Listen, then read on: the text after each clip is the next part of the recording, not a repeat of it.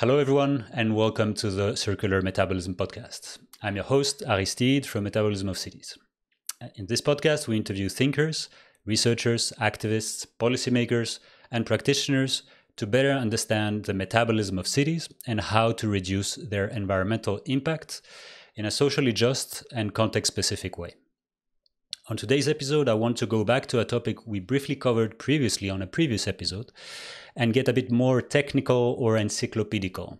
This concept is getting more and more traction, um, although it is still very badly understood or used by people. I'm talking about the concept of degrowth. To clarify some misconceptions about this topic, I've invited Timothée Parrique, a researcher that holds uh, a PhD from the Univers- Université Clermont-Auvergne and the Stockholm Resilience Center, entitled The Political Economy of Degrowth. Uh, Timothée is very active online where he collects and digests most of the work on, deg- of, on degrowth, but he also responds to media articles that cover degrowth both positively and negatively. With all that being said, Timothée, thanks for being part of this podcast, and perhaps can you give a brief introduction of yourself and your work? Hello, Aristide, and thanks for having me. Yeah, I, I do collect and digest uh, a lot of material from the internet. That that makes me uh, sound a bit like the garbage collector of uh, degrowth literature. But um, yes, I've uh, during my PhD, I've tried to synthesize and organize the ideas that had been associated with degrowth. So you could say I've tried to build a theory of degrowth. And one of my favorite part of that was to get into the criticism, what I've called, you know, the controversies, the point that were unclear, and use these um, hot questions to work with the concept, you know, the, in the same way that you would uh, warm up a sword in fire and then, you know, like hammer it so you can uh, sh- shape it into something new. I think a concept is the same. It is in the heat of the controversy that uh, a concept can take new shapes. So since the thesis has been finished, I've been focusing on this among a, a, a, few other research questions, but I could not expect that degrowth would become so cool because when I started in 2016, it wasn't. So you would talk about degrowth and people would be like, D what? Even my own computer still refuses, you know, to to accept degrowth my word software as a as a as an actual word. It still keeps recommending what what is it proposed? Yeah. Regrowth. Regrowth. Ah yeah. So regrowth more growth. seems to be the the cool concept for my computer. Uh, but now with the pandemic um, degrowth has has become a widely popular topic. And now uh, during the french presidential election and i'm sure we'll come back to this uh, one of the candidates has been uh, promoting degrowth, and so my phone has been ringing like every day from journalists being like, uh, "Hi, just heard about this degrowth thing. What is it? Could you just summarize in like 30 seconds your 800 pages thesis, please?" So I get this one every day. I, I'm getting better at it. So, what's the, the latest 30 seconds you've given to, to a media? Oh, no, I should have never said that. You put me on the spot. Actually, it um, widely different answers depending on who's mm. calling. Uh, when an economist is calling, I had like an economist journalist from TV wanting to, you know, they're going to film the three minute little explanatory videos about degrowth. And then they were just like, okay, how do I explain this to an economist? It's not the same way you would explain it to a sustainability scientist or to a, just a mainstream politician or something like this. But that's what I like about the concept. There are many different entrants. It's, it's a bit like a house. Well, a concept is always like a house. Uh, when you do theory building, it's exactly like building a house. And when you have a house, you can enter by one door, by one window, you can do things, you can store things in that.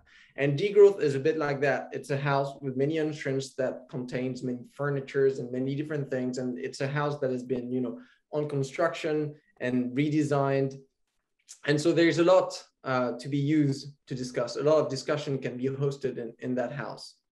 And the way you decide to define it in the first plane, place can either, either stimulate an interesting and new discussion or just shut it down So when journalists come to you and ask, like, okay, so you I had this one a few days ago. like, okay, so I, so I, I, I think you're you and your friends.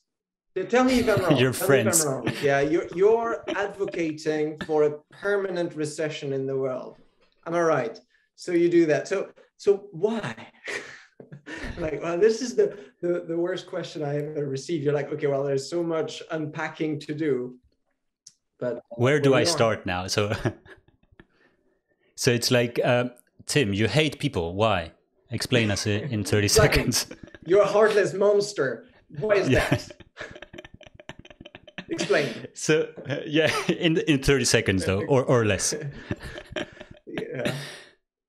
So you said that um, you know uh, a sword get its gets forged in in you know in these tough times and in under heated questions. What what are the some of the the most heated questions that you often get when you talk about degrowth or or that you want to counter using the the degrowth um, argument?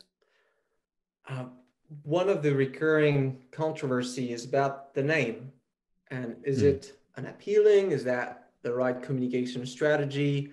Uh, is that something that perhaps will be a non-starter for politicians that need to appeal to voters? And that's not a superficial question about you know the, the semantic it's not something very scholarly it's it's an important question because the question behind this is not only about degrowth is about how do we build momentum for creating change in society so here we see we have a very broad uh, sociological question. And degrowth is, in that sense, not that different from Green New Deal and ecological transition, sustainable development back in the 80s and 90s, and many other transition concepts. So I don't think it has anything to do with the fact that degrowth is called degrowth, or you could call it whatever you want.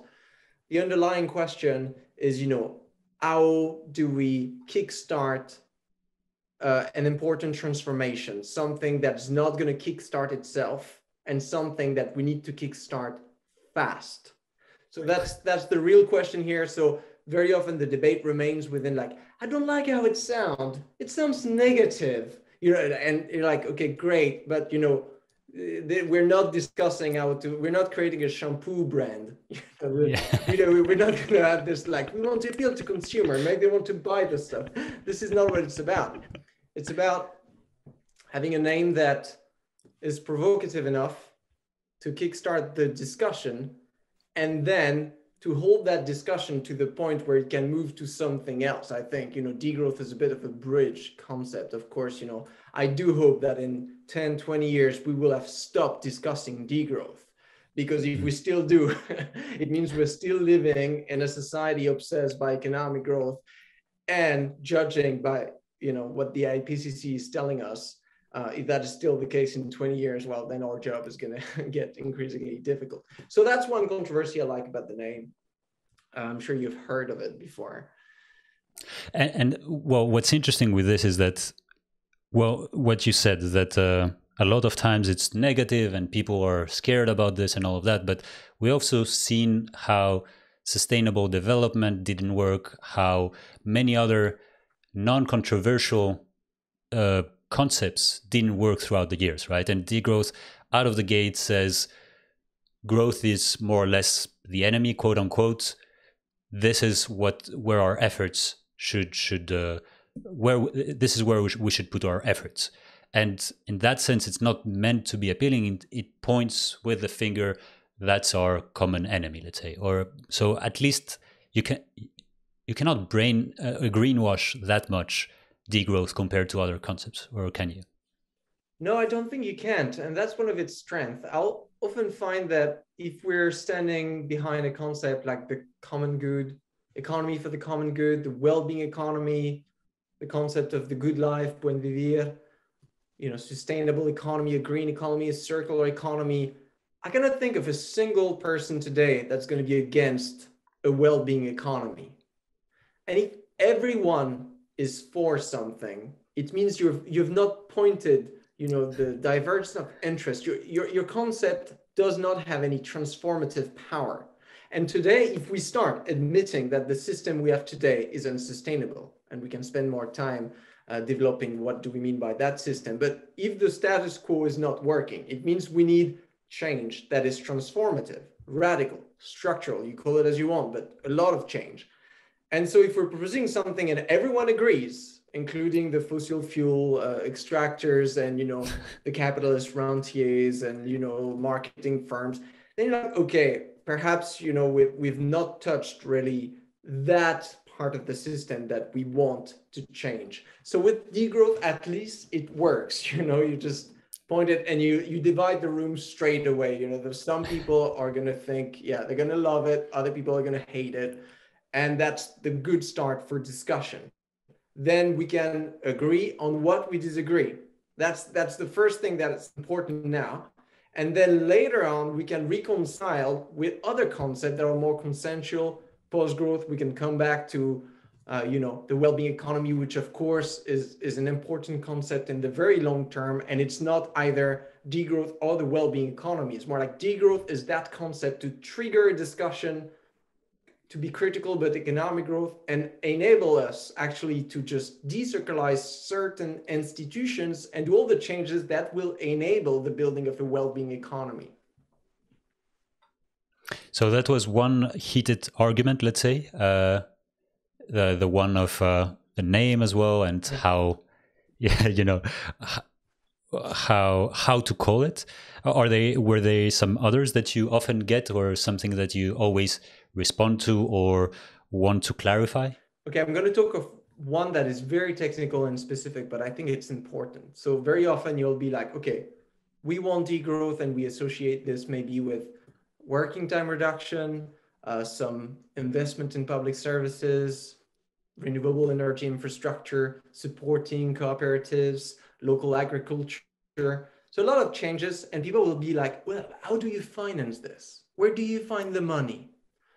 So that sounds like a very pragmatic question, and it's not new to degrowth. It's been, I mean, ever since there was green parties at every presidential election, you know, all the others are always just looking smug and calling their economists like, "Nice, your little thing. You want to tax, you know, you want to just uh, phase out fossil fuel, and you want to do this and that, but how are you going to pay for it?"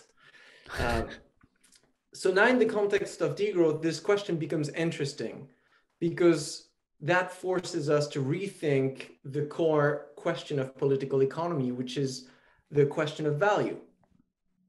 Where is value coming from in society? Today, in let's say mainstream economics vision of capitalism, we tend to see value as anything that can be sold, you know, with a profit on the market. So we're we're mixing like value with uh, profitability in a sense. And so if you're perhaps saying like, well, we're going to have a local job guarantee that's going to help matching people with green jobs that have meaning for them, but they're not going to produce anything that has a financial value because they're going to perhaps just, you know, restore ecosystems, work on on burned forest, for example, and well, that's just uh, that's not going to generate any money.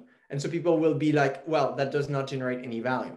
I don't think that's true. I mean, it's just here we can see that there's just two different definitions of, of value. And today, perhaps, and that's part of the degrowth canon, is to criticize the narrow-mindedness uh, about the definition of value in capitalism, where you have this, uh, this the market that is basically setting uh, what should be considered considered valuable and what should not.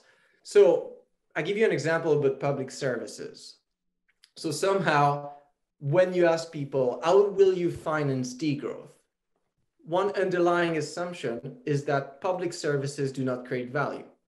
They're like luxuries that we can afford because we can tax the value created in uh, market activity. You know, income taxation, value-added taxation, taxing profits, all of this, the state function a tiny bit of that money and then can use it to pay for doctors and you know build hospitals and invest in renewable energy.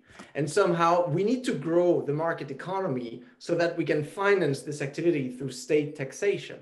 But then as an economist you need to ask yourself what's the difference in nature between you know a private private production and public production? Because it's precisely the same. You know they each kind of mobilize some money in advance, pay some people to do some work, mobilize some natural resources, produce a service or a good, and then they sell it. Private production, you sell it on the market and customers pay straight. Public production, you, customers don't pay, they get more or less free access to the service, but then it's paid with taxation. Macroeconomically, there's no differences between these two. You could have an economy that is fully private, an economy that is fully public, it would just work precisely the same. So here we see we're confronting ourselves with a, a neoliberal belief as the state, as an uh, inherently inefficient entity. And here I'm not only pointing at the state to kind of reconstruct uh, everything should be public, but also because when we're talking of degrowth, we're talking of decentralizing economic activity. So having more and more activity at the commons level, at the level of the city, where we have local currencies, cooperatives, neighborhood, reciprocity networks, things like this. And if we start from the assumption that these are unproductive luxuries that we can afford by taxing Amazon and all the other companies, then you know we're, we're not really dealing with the underlying problem which is the question of value and what do we decide to value in production degrowth answer we should value what satisfy needs more than you know what just find a buyer on the market i think it's just uh, in a society with very high levels of inequality you cannot trust market demand anymore so we need to fall back on something else. And I think falling back on, on needs is a pretty solid grounding to organize an economy because at the end of the day, that's what the economy is about. It should satisfy needs. Of course, at the same time, though, you know, how do you say, how do you compare needs between different countries or how do you set a standard of needs? You know, I mean, our needs have vastly changed over the last 20, 30, or 100 years. And well, probably we're still happier now than a century ago, but I mean, of how much? You know, can we quantify how how much our our needs are are more met today than a century before, and you know how much more resources will met meet uh, like one percent more of our needs? You know, there's a I think pol- uh, politicians or economists like numbers uh, and like to see the, the GDP change of X percent. Um, like, how would we say we've met 0.x of our needs this year, or that would be a politician's goal uh, of a degrowth politician would be to meet all of the needs of all all of our citizens. How do we go about this numerically, or can we? Yeah, I mean, there are many indicators that allow you to do this. I mean, let's remember GDP was created in the 1930s. The first solid alternative to GDP was uh, in 1972. And since then, there's just many, many alternatives. I'll give you an example of uh, one way I quite like that I've been using in my thesis uh, for France. So there's an economist that has calculated what he calls the macroeconomic surplus. So what it does, it starts by uh, calculating reference basket. So you take, you know, uh, maybe like 10, 15 people in a city and you ask them, what do you need? What kind of goods and services do you need every day, every week, every month to be able to be happy, uh, satisfy your needs, participate in society? So of course, you know, they'll tell you a, house and cars and everything, you know, depending on, on whatever the definers needs. Then once you have this quantity of stuff, you give them a price, you know, and then you aggregate to, okay, these people in this city said this, in another city they said that, but in that other city housing is more expensive, so perhaps the living wage is a bit higher, and then you aggregate with the entire population. That gives you a bit of a minima of like, to satisfy everyone's needs in France, you need that amount of money. And then you can compare this to national income, okay, which is just you know, one way of calculating GDP. And um, if you do this in France, interestingly, in 1950, that was the moment where they were both equal. National income was just right what you need to satisfy everyone's needs. So if you decrease your national income, it means that some people will not be able to satisfy their needs. But now, today, there's just a, a 42% surplus. So if you were to cut France income by 42%, and granted that income was equitably uh, distributed, it means that everyone could still satisfy their needs. So that's one way. If you still want to play with monetary indicators, you can do this. But then we're we're leaving out a lot of different, uh, let's say, non-monetary ways of satisfying needs. Because at the end of the day, you know, uh, there's not a, some needs you don't satisfy with commodities. The need for affection and conviviality and trust and all of this. So I, in, in part of all the new uh, waves of uh, alternative to GDP indicators, we have the, the data and we have the indicator to do this. I mean, look at the one in New Zealand, the, the well-being budget that they've been starting to use in 2019. 65 indicators, social, ecological, economic, with data on education, leisure time, uh, trust, political participation, inequality, uh, disposable income, and of course, many others on, on measure of ecological sustainability. So if you still want, we'll, we will still be able to measure uh, the performance of, of public policy and even at the level of the city, if we assume that decision making will be decentralized for a municipality or for a neighborhood common, you can still measure these things. And actually that's, that's what we do today. The only difference is today we assume we still measure this. We measure life expectancy and health levels and education levels. All of this is better and better measured. But the shortcut we do association is to assume that more GDP per capita is somehow correlated to more of these. Empirically, we know it's not true.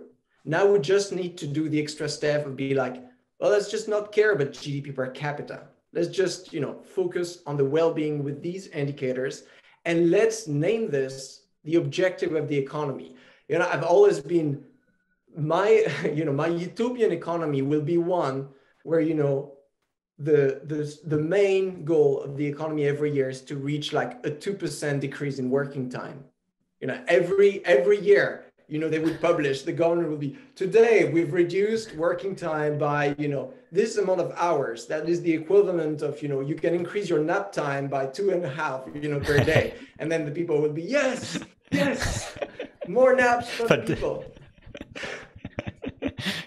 I'll see you in a bit. I have to nap now.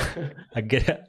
No, but that here I'm making a, a point about an economy. It, it's meant to economize. Like it's a collective organization to satisfy needs, and so we should measure its performance with its ability to econom- economize the use of resources. So starting with time, of course, the less we have to work, the more we can just not work and do whatever we want, which is great.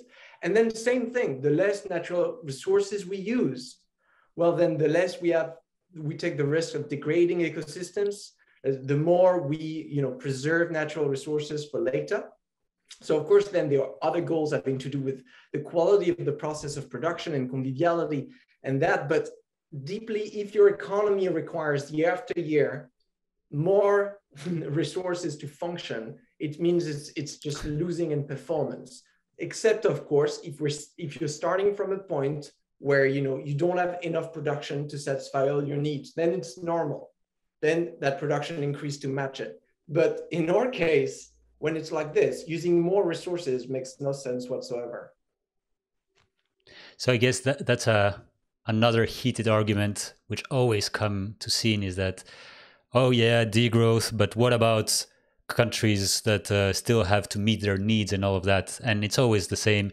It's like, but degrowth cannot happen everywhere. But there is, I guess, people just read the headlines and don't see the entire picture of the entire text. And I guess no degrowth scholar ever says that a country that hasn't met its needs should not meet its needs and uh, we should just you know instead of having two cars we should just have one car uh, how how do you how do you find the patience to to respond to these type of uh, comments? Okay, so to realize how absurd that situation is, imagine I'm a doctor. I go online and I explain, you know, I've been working on obesity for quite some years, and I'm explaining, I've, I've, I've realized that somehow if you're in a situation, if you're overweight, situation of obesity, reducing your intake of sugar and fats and different food can be a good way of losing weight. And then you have everyone attacking you, being like, oh, right. So you want to shrink the body weight of just, you know, thin children. You want everyone to lose weight. You want babies to lose weight. You're just mental. so, so that's the same thing here. it's, it's absolutely the same. Degrowth since day one. So prehistory in the 1970s, and, and the concept itself since the beginning of the 2000 was always very specific to we need to reduce production and consumption in high income, high uh, consuming countries. And we need to do so precisely because natural resources and ecosystem function are limited. And so if we want other countries in the world that have not reached that level of production to be able to increase it. We need to make sure that they have time, energy, and material. If we expropriate all of their natural resources and we, if we keep them locked in producing, you know, all the stuff that we consume in the north, uh, then there's going to be a bit of a problem. So the solution from the degrowth perspective is, you know, this macroeconomic diet in ecologically fat countries as to enable the, let's say, availability of resources for a healthy diet in uh, other countries. And here, when I'm saying this, it's not meant to mean like, oh, the global south can just follow the path of development of the north. Doesn't mean that. When I say to develop, it's, you know, they can define prosperity the way they want. But one thing we know, whatever the way you define prosperity, if you have economic agitation, if you produce more things, you need more energy, material, and time. So, regardless of what you're doing, why you're doing it, how long you're doing it, you will need these energy, time, and resources. And so far, they don't have them because high income countries are uh, eating it all. And it's funny how I mean, th- there are very heated arguments on, at least on Twitter, and every I see every week another person saying about their own opinion on degrowth or um, how they think it's suicide or how they think it's. Uh, so before it was just hippies, right? Degrowth were, were just a bunch of hippies that wanted to to live in communal spaces and, and share many things, and now it it gets like no no degrowth people are are in, in, intrinsically bad or they they want to see other people suffer. And i i don't know it's because it's gaining momentum so they really feel that they have to react to to something new. Uh, or have they what is their beef as well with with degrowth? Why this sudden despise or this sudden let's say animosity against this topic because it has gained some some momentum do you think? Or have you understood it a bit uh, wh why this is more frequent than before? Uh, it depends on the attack. I've seen strange things. Uh, since um, this year before summer there's been many attacks coming from the us especially uh, among eco-socialist communist groups criticizing degrowth for somehow being a disguised way of imposing austerity into poor people. so these uh, detractors even went arguing that we, we were secretly financed by you know capitalists like Bill Gates to create this whole narrative to force poor people to constrain their consumption so that we could leave even more resources available for the consumption of the rich, the rich and make it morally uh, acceptable. So here, I mean, that's conspiracy theory. By the way, Bill Gates is listening and has, you know, money to spare. uh, absolutely okay to send it to the degrowth community. I can tell you, I've been in degrowth research in 2016, and there's just very little money in it. But what's interesting is is the question you're asking you know why are just people so scared about this and from a when i wrote this chapter of my thesis but the history of the concept i it reminded me when i've learned about the history of sustainable development and it faced similar criticism when it came out. People were just like, oh, that's green dictature. Oh, that's the North coming to impose, you know, austerity into poor countries. So we've seen like now when you're studying degrowth controversies, actually you can see waves of, of criticism that have attacked sustainable development, eco-socialism. Uh, every time there's a concept linked, you know, more directly or indirectly to sustainability, or any concept really that is just a transformative, that is aiming to change uh, the status quo and the way we organize the economy, there's this strong reaction of, I suspect most of the time, people who benefit from the system. Uh, you know, very often I go debate with bankers and mainstream economists, and they're like, our, our CEOs, people within company, and they're like, yeah, we don't like degrowth and and then I I can understand. At least that would be the most valuable criticism. This one I've never received. But you know what? If people are listening, if you want to have the the ultimate criticism of degrowth is like, well, I'm a capitalist. I can make a lot of money with very little effort just on relying on the power of the property I already own. If somehow we redistribute wealth, well, it means I'm somehow going to lose that power and that's true. You will. That's a fair criticism. And that follows, you know, a degrowth theory with is not that original in the sense of there are many other concepts that advocate for redistribution of wealth. For example, you know, like uh, the, the participative socialism of Thomas Piketty here in France, that is just, you know, in terms of inequality, goes in exactly in the same direction of uh, than degrowth, and sometimes even further in the in, in the intricate way of reducing inequality.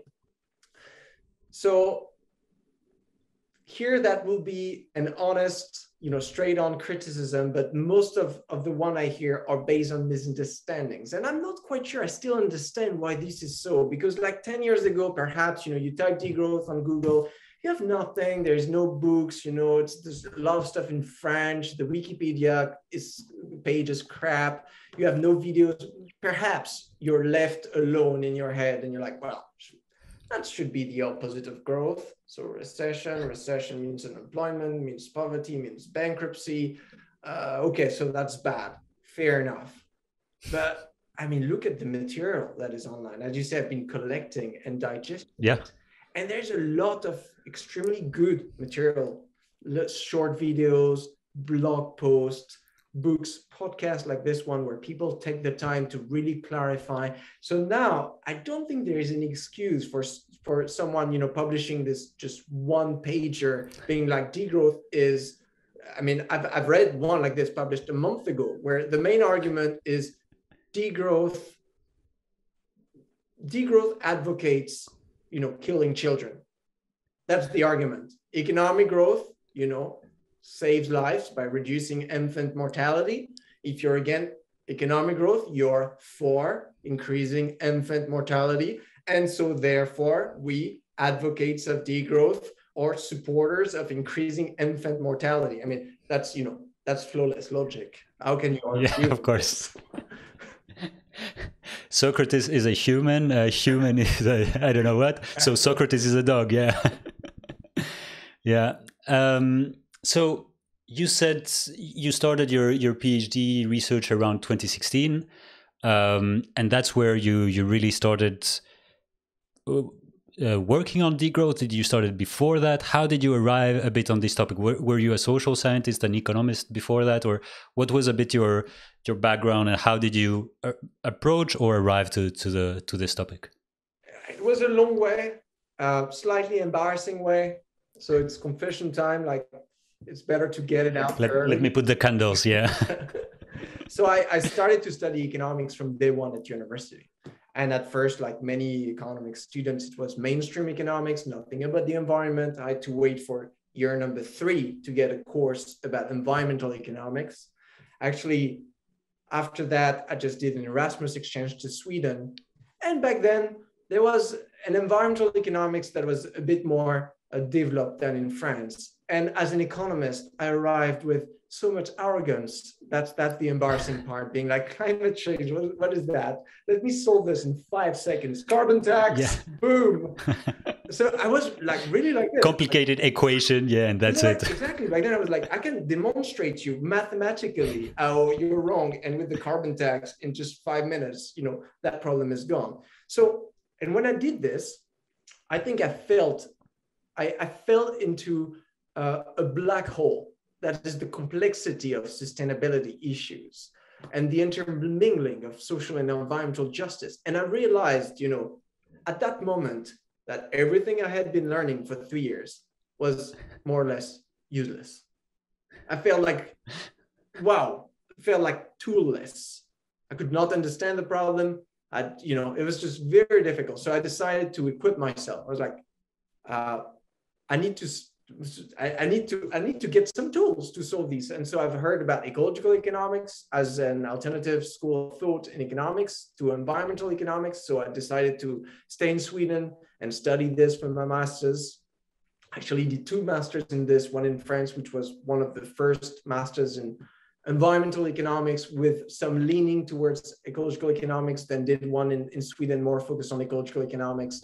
And when you start uh, to learn ecological economics, one of the first thing is you, you, you conceptualize the economy as embedded within nature. So the finiteness of the planet is one of your starting assumption. So you're working with laws of biology and the laws of physics, and very quickly you realize that you know this endless economic growth we assume is possible in mainstream economics. Well, that becomes like completely untenable uh, within an ecological economics framework. And in doing this, then I stumbled, like in the concept of, of, of degrowth. And, and I felt like for the first time, like the not only degrowth as a concept, but all the, the, the small concept that we have in the literature, you know, seeing economies as a societal metabolism, uh, uh, seeing like, you know, uh, different theories of, of values, looking at all the theories that try to understand you know what's happening outside of the economy thinking about the economy in terms of need satisfaction uh, thinking of different alternative property regimes. So looking at commons and hybrid commons and and and not for profit ventures and all these things. So i felt that was a, a great toolbox to use and um, i decided to uh, but it was messy. I mean let's face it. Back then when i entered in the field I was like, it was a bit confusing. There was like a lot of wealth. It's like you're entering, you know, a, a secondhand market. It's huge and you have like all those valuable stuff, but they're piled up together. And so you're like scaffold and you're like, oh, wow, that's cool. That, that's, that was me discovering degrowth. So during the thesis, I wanted to uh, kind of share that experience that I've had been trying to put things in the right place uh, so that's what I developed during the, the thesis, and it became a bit of an obsession, I, I must confess. Like all theses, yeah. Yeah. So now I'm recovering from this. Yeah. it, it can be quite long, the recovery phase. Uh, um, so, do you still keep contact with your economist colleagues? I mean, how, how does, how do you, you know, did they feel that you were crazy back in the day when you said what you discovered? Did you? I I, I always feel this is kind of a a, long, lonely path for a certain moment until you you finally feel equipped with, with these tools to really understand and back you up with. Okay, now I I think I see the, the the challenges. Now I think I see the problematic more clearly. So, and then you feel eager to to actually uh, converse, to to challenge, to to argue, either with the previous your previous, let's say, um, background, or with you know be embraced and be part of of this new uh, groups of ecological economics. But how did this transition go? Did you discuss this with your fellow economists? Did they feel that you were kind of crazy, or did no? You actually it was a whole cohort that went towards the same direction. Uh, no, there, there was not that many people. And I mean, still today, uh, you don't have many economists uh, just working on that topic. And I, I think my thesis in France is the first one, first PhD in economics on the topic of degrowth. So it is, that's, you know, it's just a, we're, we're a few of us on a WhatsApp group, and that's pretty much uh, the movement of, of, of degrowth economists. But I, I can still notice that there's been a shift. Uh, even comparing to when I started to add this project about my thesis, you know, proposing in 2015, just before it started, and people looking at me like, why would we need degrowth since we have green growth? I don't understand, you know, the why would you want to research this?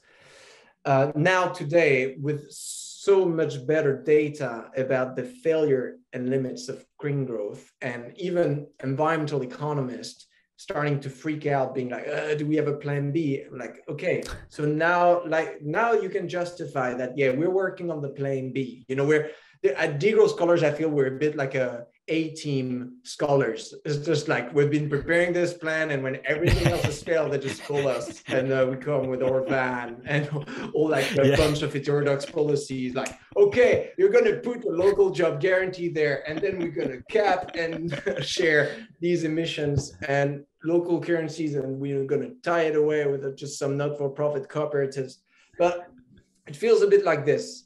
Uh, now like on that sense, like there's more and more demand for these alternative ideas that before nobody really cared about. So there's a demand, but that doesn't come from economists, that come from civil society, other intellectuals, uh, decision makers that just realized that, you know, the old recipes don't work anymore. It's just like, okay, you have structural unemployment.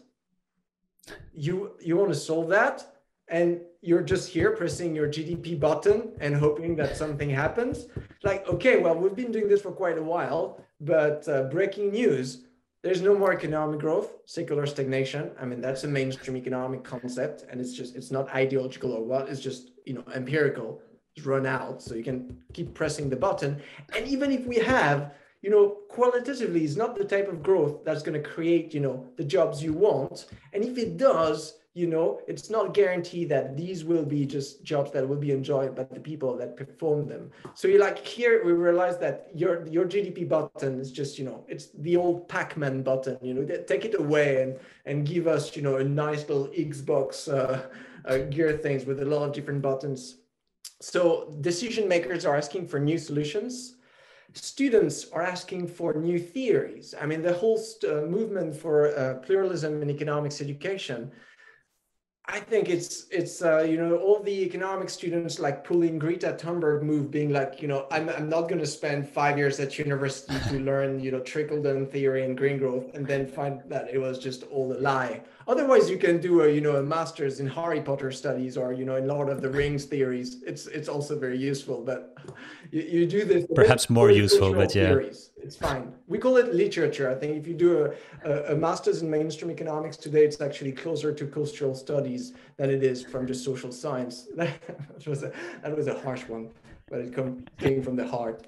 So students are asking for different theories and becomes more and more difficult for mainstream economists to legitimate uh, their theories. One of my favorite stories was after the subprime crisis of uh, you know 2008 and the, the Queen of England, you know, sent a little, had a little call to the economist at the London School of Economics, and she was just, you know, hi, I uh, just only have a question for you. Uh, why didn't you see it coming? And you know, and so they had to write very awkward situation, a letter to answer this question, and the letter is priceless. I've got it framed in my in my office because it's so beautiful. And their main and we pushed the gdp uh, button but it didn't work. Exactly. We found out it was not connected actually. Someone unplugged it. And so it's anyway it's technical. You cannot really understand. You don't have a degree in economics. No but their answer was even more shocking. It was a, and i quote collective failure of imagination. It's just the way we've been thinking about the economy did not allow us to see what was to come and so ever since, economists, their theories have been repeatedly put into shameful situation like this, where very noticeable events happen, like a global financial crisis or a planet threatening climate change, you know, the type of stuff you would want to see as an economist. So now I think it's becoming easier and easier to introduce yourself as, well, I'm an heterodox economist. I work with feminist economics, with ecological economics, with Marxian economics. I'm trying to rebuild economic tools that are adapted to the Anthropocene and to you know the economy that we have today, and especially that can equip us to deal with the challenges that are just pressing today. So now I feel like uh, I can finally get some respect when I get back to an economics department. But the funny thing is, since I published the thesis, I've been doing like maybe 60 events, you know, online and, and, and physical. And uh, I don't think I've ever been invited by an economics department. I get invited by companies, governments, business schools, a lot of engineering schools. I've been invited by, you know, the Polish governments and a podcast in Nepal, but an economics department caring about someone studying economic growth in relation to the environment, they're not quite there. So that's still that's lacking some imagination.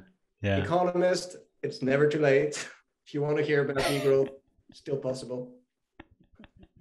oh boy, yeah, it's funny. Um, one of the, I think the the first chapters of uh of Kate Raworth's uh, book is ab- about this whole economist curriculum about how we still continue to learn the same thing, and you would you can argue the same thing about engineers. You can argue the same thing about a number of of disciplines. Um, however, I mean, it seems so obvious. At, at least a non economist can see what's unfolding and kind of figure this out. So sometimes you, you wonder why an economist does not see it. But any case, um, you briefly you, you navigated through it very quickly, but I think it's very important. You said, and we have more and more consistent data to back up that green growth doesn't work. Um, let's just settle this debate: degrowth versus green growth, and why you, you wrote a, a whole or co-authored a whole um, report on on why decoupling doesn't work. Uh, so I can imagine that you use this argument to say why green growth doesn't work, right? Yeah, exactly. Can you explain a bit what is decoupling, what is degrow, uh, green growth, and why it doesn't work? Let's do it. Okay, so ten years ago, you would just uh, talk about degrowth. Economists would say like, "Well, no need. We have green growth already." and they would put some some graph uh, today you know they would pick something on our world in data and show you look that's gdp per capita that's energy use it's decoupling we're good and it was very difficult to mingle into these numbers because there were just so many of them uh, but what has happened last year in June 2020 is significant. There's been the first exhaustive review of the decoupling literature. So that's 835 studies coming back, you know, to the invention of the concept of decoupling at the beginning of the 1990s. So these people, I mean, in decoupling debunked one year before, you know, we've been trying to do the same and we covered, you know, a few hundred, maybe 300 studies, empirical studies. But these people, they really have been lifting every single rock knocking at every single village door. Do you have decoupling data? Give it to us. And they've done a proper job. There were a lot of, of res- respected scholars, and they, they, they really did a, a, careful study. And they concluded the same thing that we did in decoupling debunked. And that's the argument that I'm going to make now.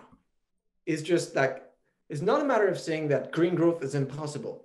Of course, in theory, it's possible because in theory everything is possible, especially in mainstream theory, uh, neoclassical theory. But you know, th- that's not the question. The question is facing the type of climate deadline that we have. In that situation, also where we have an unfair development of the world, and certain countries need to have access to natural resources more urgently than others uh, is green growth a viable strategy for ecological sustainability? And the answer to that question is no. And why is that? It all centers on the concept of decoupling, uh, which is funny enough because decoupling might be the, the most unappealing concept of it all. Like, you know, it sounds like a divorce, but you never hear people like psychologists and linguists being like, oh, don't talk about decoupling, you know, it's, it refers to divorce. People will not like it. Decoupling has become, you know, one of the mantra of every single international organization, which shows that negative uh, term sometimes works. Anyway, decoupling meaning you know gdp we want to keep it rising and environmental pressure we want to decouple and have just more gdp less pressures and indeed, if we had this everywhere in the world, that would be good. But most of the time in most countries in the world, we have this. It continues. Then we have a lot of cases of relative decoupling. So GDP increase and then oh, a bit of efficiency, but it still climbs up. And very rarely, in a handful of countries, for a handful of selected impact, often just uh, greenhouse gases, we have absolute decoupling. But the absolute decoupling is not like this. It's more like, you know, tiny, flat, yeah, tiny, tiny less. So here, when you look at these and the time it takes for this reduction to happen, uh, that makes me conclude that decoupling is just not fast enough, it's not big enough, it's not encompassive enough because, you know, if we take together impact on water use, waste disposal, greenhouse gases, mineral extraction, you know, uh, soil usage, biodiversity loss, all the different impact that our economic activity has on the environment. That's what we need to decouple. Not only decarbonize the economy. That's like that's step one. So if you decarbonize the economy, but then you just rematerialize by just you know using a lot of minerals to, to build a constantly increasing renewable infrastructure, you've just shifted the problem elsewhere. So here we, we're falling into a very, I think, commonsensical realization, which is that when an economy grows, it gets bigger. And so you're trying, well, this guy's a genius. No surprise yeah. comments, you hear that one. I can also print it on t-shirts and cups yeah. on demand. So drop shipping, yeah. If we have a resource resource problem, climate change, for example, is an over pollution problem, too much emissions. If we want to reduce it, then you know, shrinking the size of the economy, trying to just, you know, it it's, seems like a commonsensical solutions to do this. Then, of course, if we get into the, the technical argument, it's not a choice between degrowth and green growth. It's just uh, they, they can be complementary. But in the current discussion, and that is slowly changing, but coming back to 10 years ago, people didn't see degrowth as a solution. They were like, it's only green growth. Now, I think I would want the discourse to shift towards recognizing that everything we can shrink today, especially high, uh, very nature intensive sectors, through strategies of frugality, of sobriety, of sufficiency, of just cutting on, you know, all the production and consumption that you know leave well-being unchanged. So are not very, very economically important. Uh, on reducing inequality which is also has, has many negative effect on society if we can do this and shrink a bit on natural resources then it makes it easier to decouple so i find here that even people that are hardcore green growth i'm sure they would prefer to start from a smaller stack of, of natural resources being extracted and pollutions being emitted. So here we have uh, the strategy I would like to say is just let's first do degrowth, have this grand discussion about what kind, what part of the economy we would like to shrink, other part we would like to expand, what economic form they should take, should that be you know monetary production, da da da da da. Do this, and then we focus on what the economy is about, producing that efficiently, which is you know using uh, as low natural resources as we can, and then you know we fall back on on uh, trying to find innovations uh, to be able to do this, and and some solutions that have been promoted uh, in green growth. So last thing, then I, I finished on this because very often people they attack degrowthers for being counterproductive because they're like if you say that so what do you propose yeah you you make the green growth people look bad and so you make ecological effort look back, look bad. And here I think we need to be a bit more subtle of just, you know, let's say green growth is not enough. Again, for ecological sustainability, then when we get into a, a broader criticism of economic growth as a phenomenon, you also have like, you know, social and cultural critiques. So you, you realize that even in an infinite world, there will still be some advantage to have an economy that is not just growing forever. But even that, so in that constrained world, just for ecological purposes, you can make the argument that just the economy uh, should be smaller. And then you can pick and choose after this in, in a wide toolbox of tools, some part of the green growth discourse, some part of the degrowth discourse, some part of the eco-feminist, eco-anarchist, eco-socialist, you pick it wherever you want to just make sure that the economy is just doing what it's supposed to be doing, satisfying needs, getting us, you know, above social minima and while remaining under ecological maxima. You know, that's the donut of, of Kate Raworth. Yeah. So of course, I mean, it, it makes total sense that if you want to to stop, you, you might turn off the tap first instead of you know putting buckets of water back to the back to the bathtub.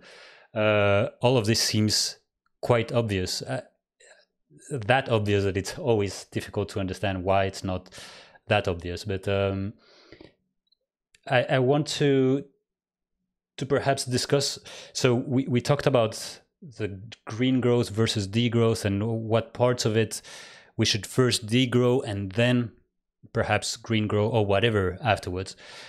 How what is a, a good strategy to figure out this is a non-essential uh, activity and we should cut it? Do we have like a matrix between needs and ecological footprint and then we we we rank them and say well let's say in terms of mobility, that type of mobility um, is too high in ecological footprint, yet doesn't make you happier, or it's not essential for you to go to your job or to see your family. And therefore, that is perhaps something that we should take out of our system. Is that how we could approach this? Cutting off the unnecessary elements of our society, or how would you go about, you know, pick and choose or prioritize the first sectors to take out of our economy. Let's first realize that we already do this. Mm. So uh, the system, our economy is already deciding, you know, what should be developed and what should not. Go to a bank and ask for a loan to start a business, and tell them you want to start, I don't know, a, a chess club or a, you know, a whatever, and and and they'll be like, well, sorry, but that's non-essential. You're not going to make any profit. So I would rather lend to someone that's going to create, you know, an online advertising agency. So we already have this rationing of producing powers, which is based on one single rule. We give money to where more money can be made. And of course, the exception of that is public investment, which can bypass this rule for a while, even though in today's neoliberal discourse, it is at some point in the future confronted to this ability to finance itself. That's the discussion we had earlier. So now the question is to rethink how else could we do this? If we admit that somehow there are certain things that are valuable, but that bear no price and will not be profitable in a financial sense, how do we measure? How do we account? Where do we do this? I, I like to think of that process at, at many different levels because economic decisions often when we hear about degrowth people would be like imagining i don't know like an inventory at the government level where you know you'll be sitting down in a room and people will there'll be a grand list of just like white socks unnecessary white socks with red dots uh, medium and they'll give a grade. And it never works like this. We need to tap into decisions. So they're taken at at least three levels. We're going to start simple starting with a company. A company decides what to produce, how much to produce, what tools to be used to produce. So now, what are, are most of our companies uh, using as, as a protocol to do this? Well, profits.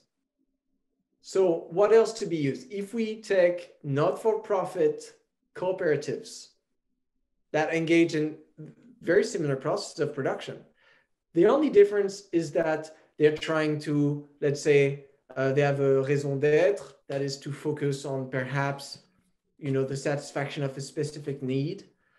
And so they're just making different decisions. So now I'm thinking if we were in the French economy, let's say, where we have 4 million companies, to turn all of them into not for, not for profit cooperatives, you know, what kind of different decision makings would we make? You know, which which some company decide somehow to to produce, you know, these annoying pop-up ads on the internet. Like, will someone be like, well, I think this is really going to improve, you know, the well-being of someone? And no, there are certain things that just are done just because they make money. If you take them away, different decisions will be taken.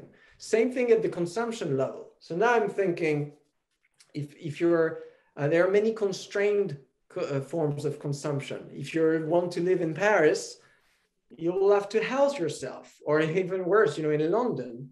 And if you want to do so, you know, you cannot uh, register on a social housing list and get affordable housing quick. No, you will have to just pay atrocious amount of money because it's a private market. And so here there's another process of rationing based on purchasing power. The question is, should we ration a good as fundamental as housing based on uh, purchasing power? Some people say, you know, they don't think so because it's it's a fundamental need. Everyone should have a house. And so if you compare Paris to Vienna, in Vienna is one of the most affordable European capital. Why is that? Because 60% of all housing in Vienna is social housing. Part of it is state housing, but most of the new social housing is actually decentralized cooperative housing. It doesn't mean living together. It means your house is owned by a not-for-profit cooperative. And it means, you know, no one is making money out of housing. And that's why we see in Vienna is just affordable prices and high quality housing. So it shows that it's a different choice of political economy here. And that will lead to different decisions. Same thing at the level of the state, uh, where you can decide to either facilitate uh, you know, the, the production of, of commodities and the profits of companies, or you can decide also to invest into sectors that produce social and ecological value, but that won't be financially uh, profitable. So at each of these level, people will make decisions, will draw the line between what's essential and what's superfluous. That's why the concept of economic democracy is so important. Today, we draw the line when we buy stuff as consumers.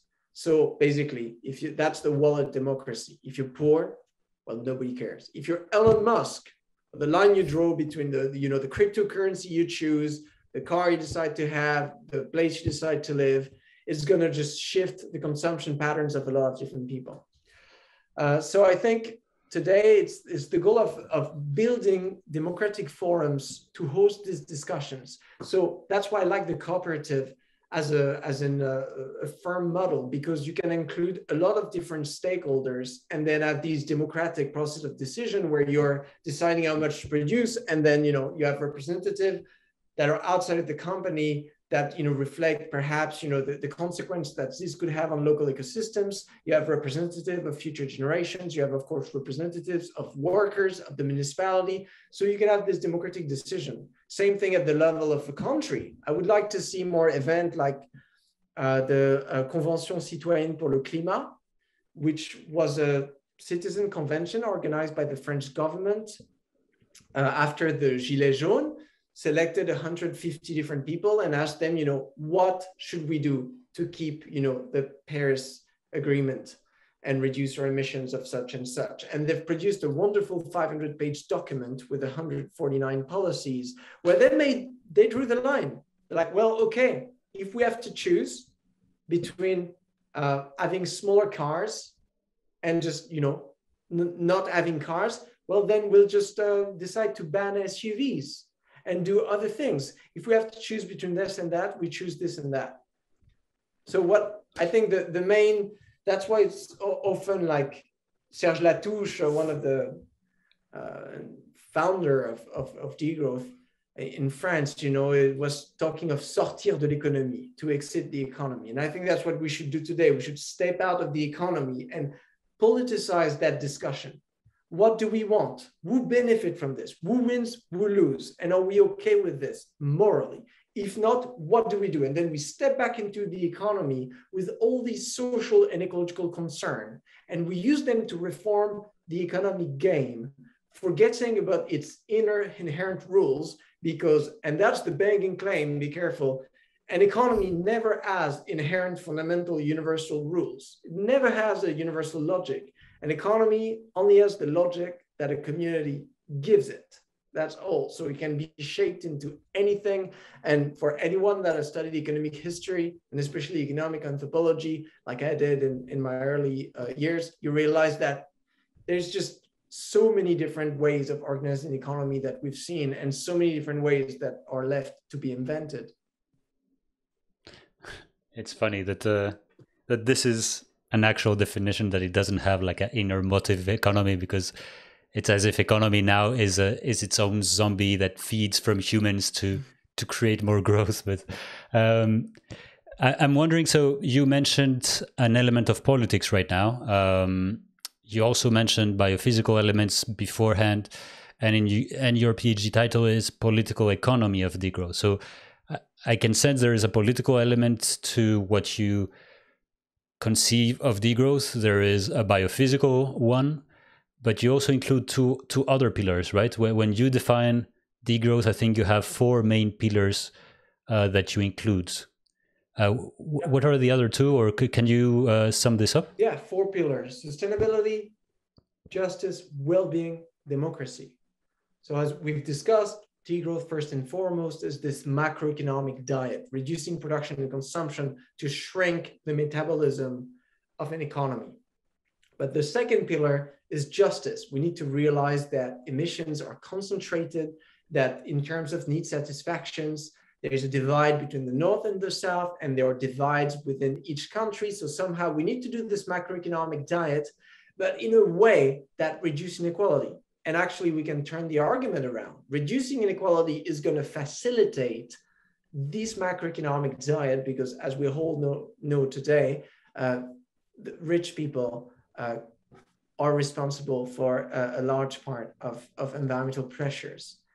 The third pillar is well-being, and that's where the degrowth argument really gets original. Say we're going to do a macroeconomic diet that's going to reduce inequality, and actually we're going to improve our well-being. So now at this point, it sounds a bit like those magical, you know, ads on the internet, like you know, lose. You want to lose weight? Yeah. Five seconds with this uh, easy solution, but get this pill. the logic behind is this: first, societies with high levels of inequality are often uh, societies that are just have low well-being. Well, let me say this like that. At you know, everything being equal, if you compare two societies, one with very high level of inequalities and another one with low levels, the one with low levels of inequalities is gonna it's gonna be uh, happier. Uh, so now there's this aspect of well-being, but there's something more fundamental having to do with is capitalism and economic growth coming with it?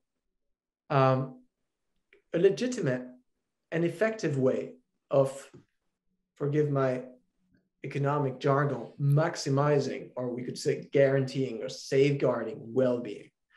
And the question is, if capitalism is always wired to you know, produce and make decision based on what uh, brings a monetary surplus, well, it's, it's, it's uncertain that you know there will be a correlation with what is profitable and what maximize well-being. So the degrowth argument is if we change our economic system by actually just writing down into the hardware, the institution, the way we frame companies, uh, the way we organize trade patterns, the way we organize government activities, the way we give you know uh, loans at the bank, each time you know, we organize them around the main goal of uh, securing well-being, then we'll have a system that is more likely to increase well-being. That's the degrowth argument, you know, encapsulated with the slogan of uh, less is more. And then we have the fourth criteria that is perhaps also the most important, because so far all of these criteria could be satisfied if you, you know, wear a world dictator and you will decide to do this, this, and that. And that's it. Done my diet, reduce inequality, increase well being, all fine.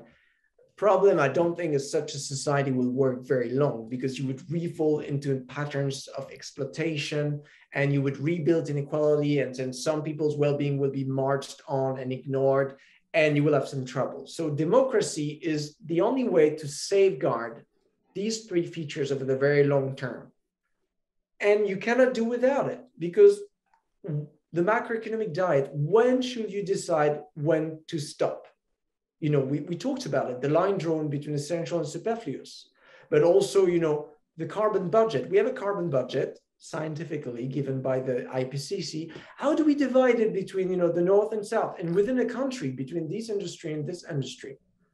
Democracy is the only way to sort this out. Same thing for inequality. What's an acceptable level of inequality? How high should we set the maximum wage? What kind of redistribution we should do in terms of inheritance or taxation of capital and property? Same thing. With healthy, with a healthy democracy, you can make decisions that somehow uh, set, let's say, maximize the well-being of all, let's say, work for most people involved. And uh, finally, same thing for well-being. Um, here, that's we talked about the wallet democracy and the fact that using purchasing power decisions to decide what makes you happy or not just quickly reach some limits in a society with high inequality.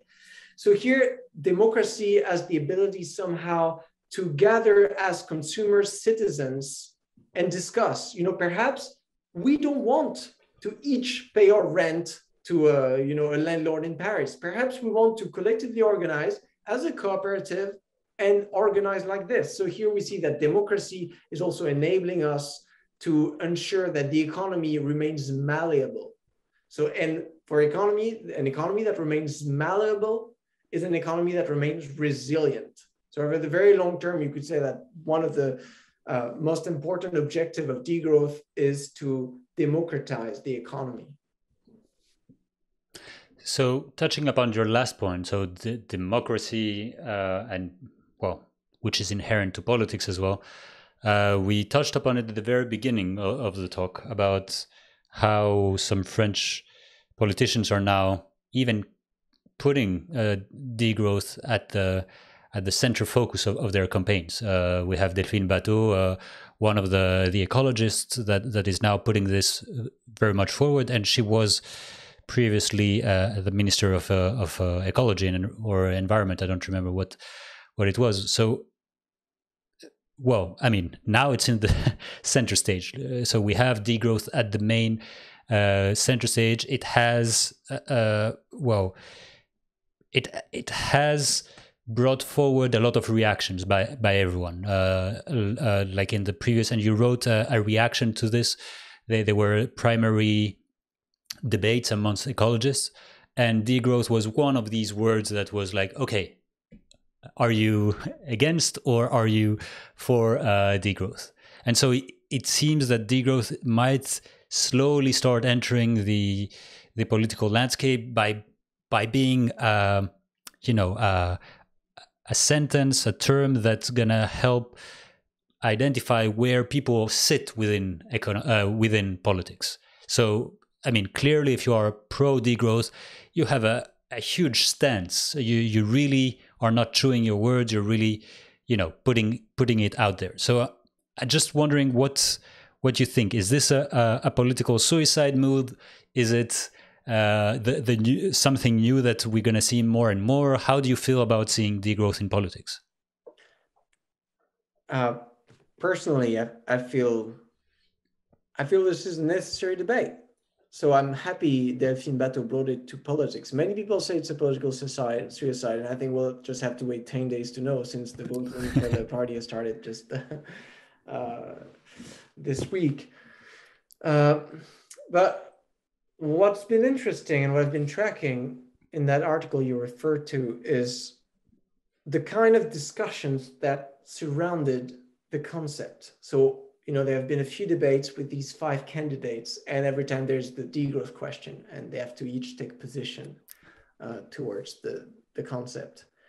And I think the fact that we're asking the degrowth question is has been deepening some of the discussions that did not happen before. Like during a presidential debate, they will not people will not be like, "Are you for or against capitalism?"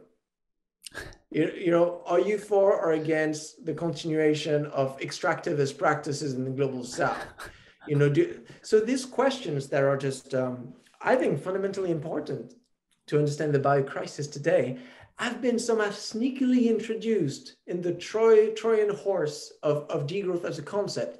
So Delphine Batho here, uh, again, we'll wait for the vote, but she's gained a lot of popularity by this I, I, I think appealing to the concept of degrowth, not being afraid of tackling the difficult questions and also of doing the kind of homework of adapting your discourse to concepts that have emerged that activists are using. I mean, if you're the leader of, of the Green Party, you need to be close from, you know, the concepts that are happening with sustainability scientists and activists, environmental activists. And as we were discussing in the beginning, you know, degrowth is becoming increasingly popular. So now I find it strange for other candidates to be like, one of them just, you know, when being asked about degrowth, always give the same answer, like, I don't care about it. I don't care at all. I don't care about growth, don't care about degrowth. I care about sustainability. I care about health. I care about the thing that degrowth is about. So you're like, that I of what degrowth is or disingenuous. Uh, and, and they're both problematic stances. The debate is that so the four other candidates, uh, the position they took, many of these positions were superficial in the sense of it started from a misunderstanding of degrowth. So you could see that did not take time to engage with the concept. So they would be like, I don't like degrowth because GDP is an obsolete indicator, and I don't think a society should be organized around the minimization of GDP, you know. And I mean, that's degrowth 101. Even if you've read the Wikipedia page, you know that it's not a recession. You know, honey, I shrunk the kid applied to your economy until it's just a tiny, cute little political strategy in taking this ambiguous position or if it's just a genuine disregard of, of that concept. But then now I'm going to get a bit more, okay, outrageous and make that claim. I, feel like if you're an ecologist today, so here we're not yet in the presidential, you know, it's the election of the leader of the Green Party that will be a candidate for the general election. So we're only talking about ecologists so far. If you're an ecologist and you're against degrowth, you know, it would be like being a doctor that is against diets in general. You're like, I don't think you could be a doctor. I do hope so. Maybe there's a movement of doctors that are just literally against diets. Whatever happens, any situation, I'm against the diet. Whatever your problem, you should always eat more. You get things, but always eat more. That would be strange. So now, as ecologists, I think, and reality is just teaching us so much about it. I was referring to the new data, but you don't need the data. You look at the forest fire, look at you know the fishery collapse, look at climate change, look at heat waves, look at environmental refugees, and all these things. Reality is teaching us in the most painful manner that somehow you know this we will have to make a choice. We cannot continue that what we have. So I find problematic that in 2021 there are some you know leaders, aspiring leaders of a Green Party that we you know, start from an ambiguous positions towards economic growth. And the, so that's that's the, the feeling with Delphine Batho coming here. At least she has forced them to take position, but many of them as kind of like de- decline. And that's still a risk today in the discourse of people, you know, when you talk to them about degrowth, most of the time economists, they'll be like, oh, you know, I know GDP is is a bad indicator. It's not about this. The economy is about well-being. Let's keep doing what we're doing. So now it's very important to. It's not about degrowth in the sense of it's not only about the diet. It's about all the things we've been discussing. The political uh, question about inequality. It's about the, the question of well-being, the use of our time, the relation we have with nature. Is about the you know how an economy interact with democracy and how we come to make all the economic decisions that we make. Yeah, yeah, yeah. I'm I'm curious to see where that goes. To be honest, uh, I'm I'm looking forward to, to to see where this adventure comes, and even if Delphine is not the, the, the primary ecologist, how this might be used or not used by by the other political parties. Uh, um, perhaps uh, to to summarize whatever we've learned so far. Uh, because we mainly focus on cities, or we try at least within this podcast, um, you now live in Biarritz. Let's imagine that you're the mayor of Biarritz uh, and degrowth with your degrowth stick. What what would be some of the steps, or how would you translate your knowledge into some actions or into some, let's say, initiatives that you you would rally citizens and companies and and people within Biarritz? economic growth, the way I conceptualize it is like an engine that is self-amplifying. So for me, degrowth is about you know stopping the engine. It's an engine of production, an engine of consumption.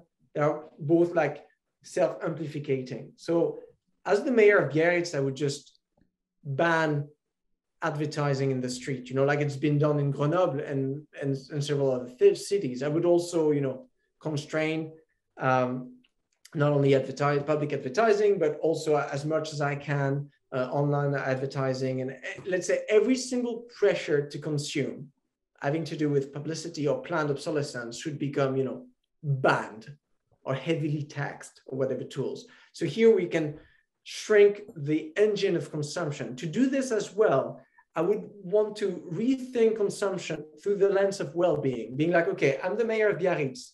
How can the people of Biarritz be happy in their daily lives without having to consume going to the mall?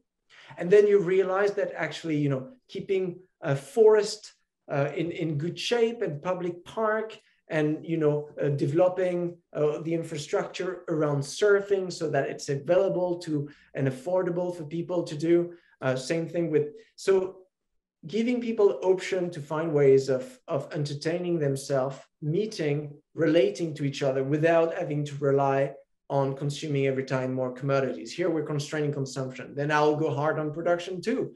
I'll be like starting by doing democratic inventories uh, in the city of the type of activities we want, the type of activities we don't want. So that's like local industrial policy. I, I'm a surfer, I surf every day. Uh, you can, you know, the pollution is there. We have the harbor of Bayonne, uh, issues relating to overfishing and, you know, mass transport of good. The, the water is very often polluted. Uh, so here, it's it's uh, it's an experience of of in a city that is just close to the ocean. You have to this relation to nature. So now I would want to have, bring that discussion. Okay, we are a coastal city, and we also we are a city that is producing things to you know uh, goods and services that we need to to to satisfy our needs. How do these two cohabit? There are certain things that actually we can identify as being like low well-being, high uh, ecologically intensive product that we could phase out. So I, I would like, yeah, these are the type of things. And then to do this, it starts with work time reduction because how can you have these discussions? How can you mobilize people into organizing alternative forms of economy if they're just too busy uh, uh, working uh, in, in, in a, for a company, most of the time working, producing things that don't directly consume or don't have a lot of fun uh, producing.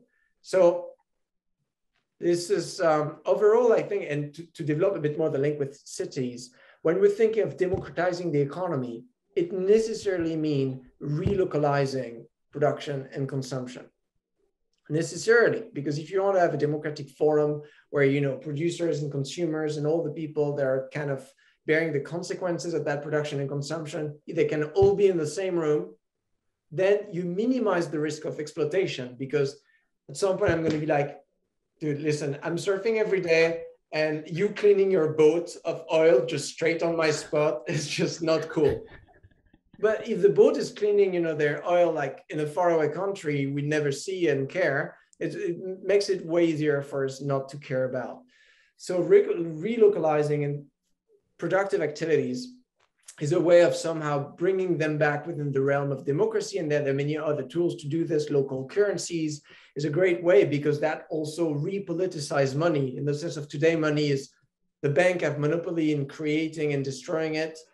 But with local currencies, it actually be, we can have local monetary policy where we decide somehow to use the money to invest into new sectors, to create new money, to boost or stimulate certain activities, like with time banks.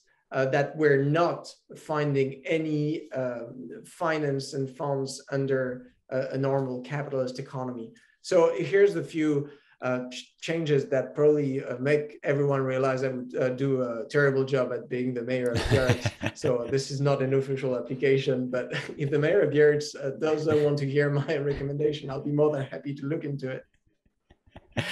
I, I would vote for you. And uh, if you need any help, if you need any help in doing these surveys and all of that, just uh, ring me. I'll Perfect. I'll come to Biarritz. Uh, just want to come like this. yeah, yeah, exactly. I just want to find an excuse, uh, a professional excuse to come uh, visit you. Um, Okay, perhaps let's wrap this up with uh, with two main questions that we ask, uh, which is what, what do you work on, let's say in the for the rest of the year or 2022? Do you have any big projects, and then perhaps some recommendations on book articles, films, or something like that. Uh, okay, yeah, big project. Yes. So now I'm finishing a book in French that should be published at the beginning of next year. Will be a summary uh, of the thesis, not only a summary but also a more exciting uh, version, more entertaining version of the thesis. I'm currently discussing to do a book in English too that maybe will focus on the controversies, so reply to critiques and, and reflect on hot concepts and hot questions. So I'd like to spend part of 2022 doing this. And then with some colleagues at uh, Barcelona, uh, we're working in, in somehow refining that theory of economic growth as you know a process embedded in the biosphere and in social communities. So this is kind of merging ecological insights from ecological economics and feminist economics to strengthen uh, the point that that concept of economic growth as social and ecological limits. So I would want uh, to bring that insight in a convincing manner into the world of economics. So that's so far it's it's made in the it's made in the degrowth literature, but I would love to be able to uh, bring right a strong article and add this debate with economists that's that's on the research level then uh, degrowth is is getting cool. So i've got a lot of events and, and courses and i'll keep doing this. I think it's one of the responsibility of or curse you could say of having written a, thesis on the topic. So every time someone wants to have degrowth explained uh, ring my phone and i'll uh, do this with pleasure. Except if you have so the, uh, 0800 degrowth so yeah. it's 10, yeah. 10 euros per minute uh, yeah. well, 10 uh, local units, uh, depending on where they call from. Yeah. and as for recommendation, um, uh, there's been a few good books recently published on, on degrowth. A very short one called The Case for Degrowth. Uh, if you want to get into the topic, there's Jason Hickel, Less is More. Uh, that is one of my favorite. And another tiny book from Yorgos Kallis called Limits uh, why Malthus was wrong and why environmentalists should care. Do not underestimate this book, which is not only one of the most beautifully written book I've ever read, but also making the degrowth argument without using the degrowth word and building a theory of limit that is extremely precious today. Um, a, a, film, okay, I'm gonna give you a film that's uh, most probably you haven't seen. It's uh, called L'An 1, year. It's from 1973. It's a black and white, low budget, amateur theater, um, utopian film about uh, the post May 68 spirit in France. You know, there was this huge revolt. And so the movie is explaining basically, and I use it a bit in the thesis, all start from the assumption that in one year, okay, we realize that society is unsustainable. In one year, we stop completely and we discuss and we redesign society. So there's this uh, funny film about them doing this and rethinking property, and it's actually quite stimulating and exciting. And if any Hollywood producer is watching this and wants to do a long deux, just uh, get in touch and we'll discuss. The revenge, yeah. well, Thanks so much. Uh, you said so many different people should watch this and then listen to this. So I hope the mayor of Biarritz is going to watch this. I hope Hollywood producers and so many other people are going to watch this. And I'm counting on you, everyone, to to to share it with everyone that should uh, listen to to this episode. Thanks again, Tim, for all of your time. I hope I'm going to meet you soon in physical. Absolutely. Uh, so. And if you are in the Alps, just uh, you know, uh, I have some nice places to show you around as well.